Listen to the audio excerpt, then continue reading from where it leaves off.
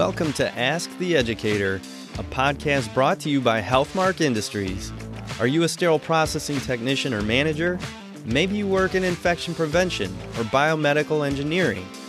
Whether you're a frontline tech, endoscopy tech, or nurse, or surgical services administrator, you undoubtedly have influence in medical device processing at your facility. In each episode, we speak with experts from the Healthmark Clinical Affairs team, industry leaders, or special guests from the trenches to answer your questions and bring you relevant industry information, equipping you for excellence in medical device processing. My name is Kevin Anderson, and I will be your host. Now, let's get started. Welcome back, everyone, to the Ask the Educator podcast. My name is Adam Okada, and we just got done with our PB70 webinar, or international webinar for the month of January. And I'd like to welcome in the hosts or the uh, co chairs of PB70, uh, Cheron Rojo and Jill Holdsworth. Cheron, welcome in. Thank you, Adam. And Jill, welcome to the podcast. Thank you. Glad to be here. So, we want to get started. This was a really great, informative podcast. Let's talk about PB70. It's not the one, it's not sexy. It's not ST91. it's not ST79. It's not the ones everybody knows and talks about. But your co-chairs are. yeah, the co-chairs are definitely sexy for sure. You guys have great headshots. It's going to look great on YouTube for us. But what is PB70? What is this uh, thing, and how do, how does it relate to the ANSI AAMI universe as it relates to documents? Well, as you know, ST 79 and 91 really get that publicity, right? So Jill and I were really focusing on giving the PR that the PB 70 document deserves.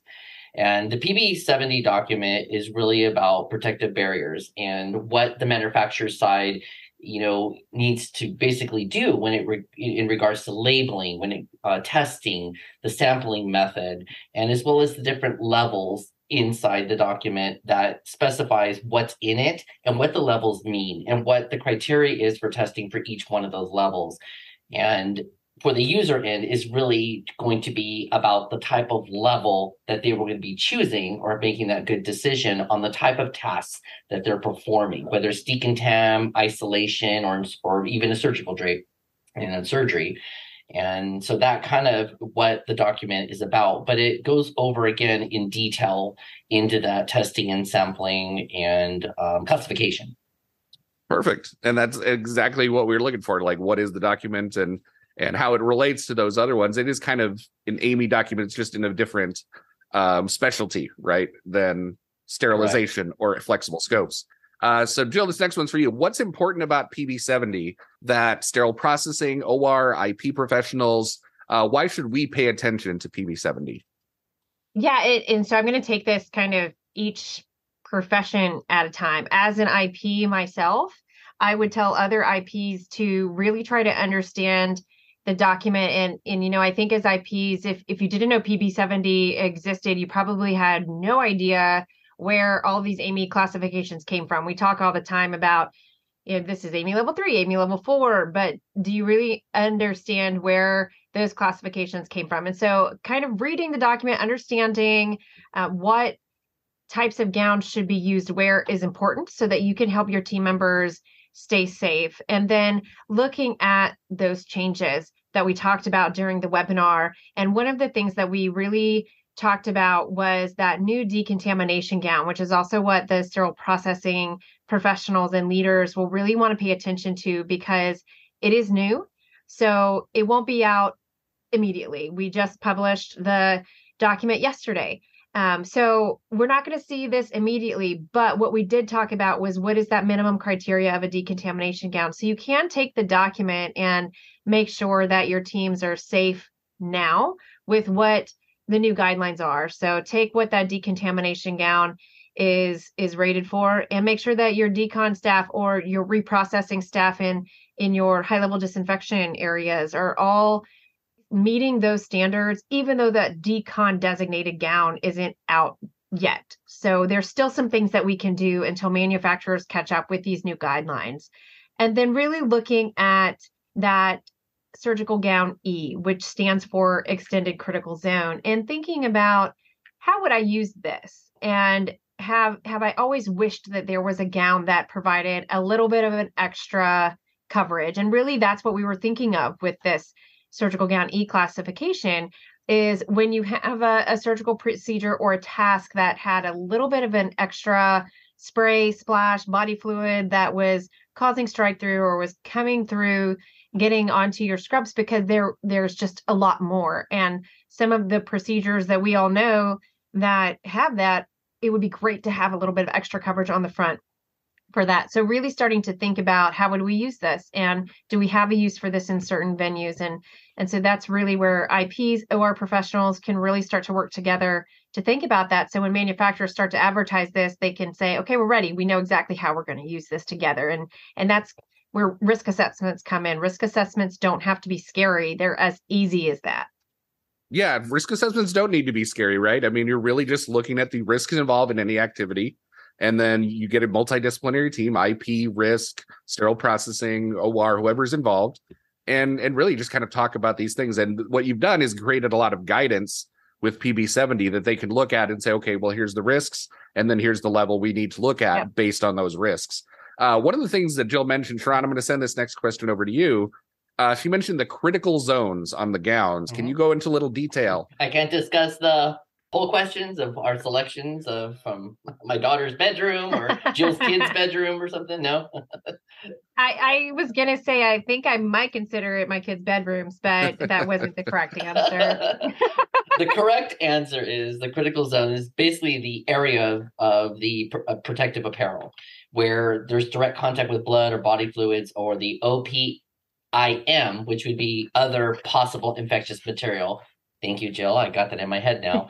that will mostly occur in that area. So that's kind of that straightforward definition. Yeah, and the critical zones, I mean, I'm thinking as a, a decontam tech myself, right? Right in the front, right where your kind of your belly is against the uh the sink line where you're going to get a mm-hmm. lot of splashback. Yes. That would be a critical zone, right? Yes. Um, yes. and so on on those gowns, you really want to have kind of that extra layer of protection um, in those zones, thicker or some other kind of material. Uh, so I really appreciate that you guys thought about that and created these critical zones on the gowns. Uh, Jill, can you describe some of the changes or the updates to PB70? Because this document came out. Uh, now we're recording on the 19th of January, so it was the 18th of January that it came out. We timed it perfectly uh, to coincide with the release of PB70. But what changes can we expect to see uh, into the document, and then what also what changes are we going to see in the marketplace as far as what we're going to look at in the future? Yeah, so I, I, did mention a couple of them already, so I spoiled a, a, couple of them. But what the committee really wanted to do is to expand what the document contained. So the last time that, that we came out with a PB70 document was in 2012. So we've been working on expanding um, how much we could cover in this document. So it really was limited to surgical gowns, surgical drapes, and isolation gowns as categories in the past. So we have really expanded the the categories and the definitions of, of this type of apparel that is now included in this document so that it, it really is tailored to the task to the department and to the user which is is really for the benefit of everybody for um, safety uh, for comfort and and ju- and for the manufacturer too so that we can really tailor to what we're doing and which ultimately will lead to worker safety. And um, so where you're going to see terms like full coverage gown protective gown with non-protective back protective gowns with open backs. Um, you're going to see some new things um, like labeling requirements meaning expiration dates labeling requirements regarding those terms I just used about the protective, the non protective back, the open backs, and requirements so that the user is very clear on what they're putting on so that they're not confused if they put on a gown with a back. Does it have protection or not? So that we're very clear on what type of protection we're getting from our PPE. So those new labeling requirements basically went into effect yesterday. So, of course, there's a grace period for manufacturers to start putting that um, on their labels, but now it will be very clear what you're using. And again, this is where risk assessments become very important. So, is an open back appropriate for the task that you're doing and in the environment that you're in? Or is a full coverage gown what you really need because you need the back coverage? And you'll also see protective hoods with togas or toga ensembles in this document, which we added because this is something that is used, and we felt it was important to make sure that we put some parameters around where the critical zones and protective areas were for toga ensembles. So we wanted to be really all encompassing for all tasks, all users, and all environments for this um, protective apparel because that's that is what is important. And we have evolved over the last 10 years with the types of PPE and tasks and situations that we're putting our team members in. And so that was really the basis for why we made these changes and why we felt like it was important to include all of these new categories and and types of apparel. Yeah, and if you haven't seen the webinar, I would definitely suggest checking it out. We're giving a brief overview of what PB70 is, but Cheron and Jill did a great job going into a lot of detail, showing pictures, showing those critical zones on the gowns.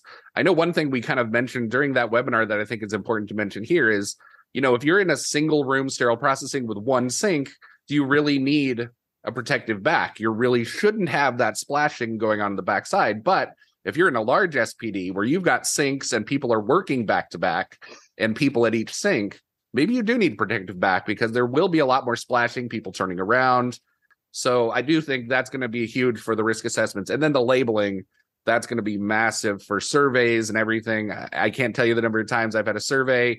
Uh, how do you know this gown's not expired? How do you know what the expiration date is? Having it on the gown and then having the level of the gown, whether it's open back, knowing what you're putting on. I think you phrased it perfectly. Is going to be really huge. So we don't have time to to go too much deeper into PB70. But Cheron, do you have any final thoughts uh, for everybody on the document or takeaways from it? I would definitely go to the AAMI website and um, you can do a search for the PB70 document that just got advertised yesterday and to purchase that copy. I would definitely, I'm just, I'm just excited about the document as a whole, especially the decontam um, for our SPD folks. All right. And Jill, same question. Um, yeah, we we've done so much work on this for many years and and I think you'll see that reflected in the document. Um, it does seem overwhelming at first as you start to look at it, but I think that you'll find that it's a great guidance document, and it is especially great if if you're looking to make changes in the place that you work, or like you said, if you're an area that you have an open back gown, but you really feel like that's not appropriate. This is the the document. It's a standard. It's so it's it's something that you can turn to to say the these are the guidelines that we need to follow to make sure that we're safe and so this can really be of help when you have it and you use it as a tool to make sure that everyone is is wearing the appropriate things. So I, I hope that everyone finds it very helpful and and a great um, update with all of these changes that we've made. Thank you both for being here. Uh, great job on the webinar. Great job here today on the podcast. So thank you both for being here. Thank you. Thank you, Adam. Shout out to my co-host Kevin Anderson who couldn't be here today. Uh, but uh, you know we miss you, Kevin, and we'll see you on the next one. And uh, we'll see everybody else on the next podcast. Bye, everybody.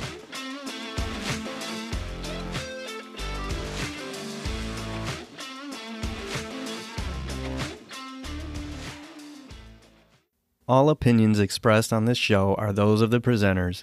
Before using any medical device, it is important to review the device manufacturer's instructions for use.